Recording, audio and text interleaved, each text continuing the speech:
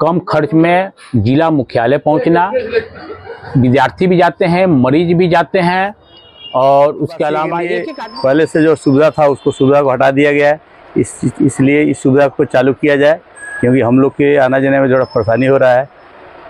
इसको चालू करने का आलोक कुमार श्रीवास्तव महासचिव Raxaul chamber of commerce and industries ये प्रोप्राइटर भी हैं चित्रलेखा साड़ी शोरूम के। इनसे मेरा एक ही सीधा सवाल है कि आखिर रक्सौल में इंटरसिटी का मामला आज काफ़ी ज़्यादा गर्म होता जा रहा है तो आपकी क्या प्रतिक्रियाएँ हैं? इसमें प्रतिक्रिया की कोई ज़रूरत नहीं है, रक्सौल की ज़रूरत है।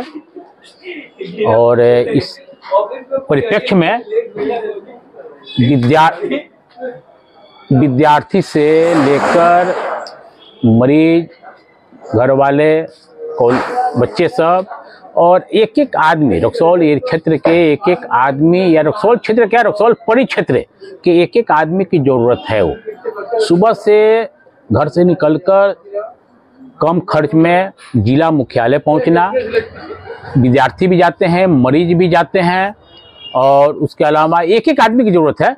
एक एक आदमी की ज़रूरत है किसी न किसी काम से कोर्ट में जाना।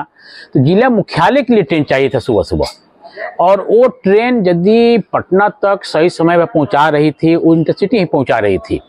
अभी उसके विकल्प के रूप में जो ट्रेन दी गई है, एक ट्रेन है चार पचास में, वो मुजफ्फरपुर ही रुक जाती है। एक ट्रेन जाती है भाया सीतामढ़ी होकर।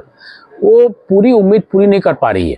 ट्रेन ठीक है, हमारे भी मैंने मोतिहारी जिला के कुछ स्टेशनों को कवर करती है, लेकिन जो मेन हम लोग की ज़रूरत है रक्सौल क्षेत्र के, वो है भाया रामगढ़वा को भी वो ट्रेन पोषित करे सुगौली क्षेत्र को भी पोषित करे। मेन रक्सौल और रामगढ़वा एरिया को पोषित करते हुए सुविधा देते हुए ट्रेन मोतिहारी होते हुए पटना जानी चाहिए। इसलिए यह डिमांड जायज़ है इसको पूरा होना चाहिए। इसमें हम लोग सहयोग किसी का भी हो करते हैं और समर्थन भी कर रहे हैं इसका। धन्यवाद। Girija Vastralaya post office road Raxaul.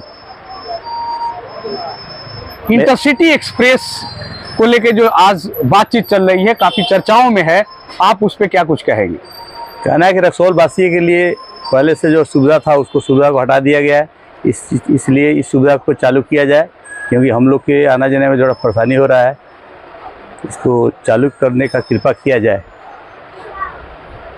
ऐसा नहीं लग रहा है कि वो तो बात सही है कि कृपा किया जाए, लेकिन काफ़ी दिनों से बंद। हाँ उसको उसको देखते हुए उसको चालू किया जाए कि हम लोग कठिनाई हो रही है।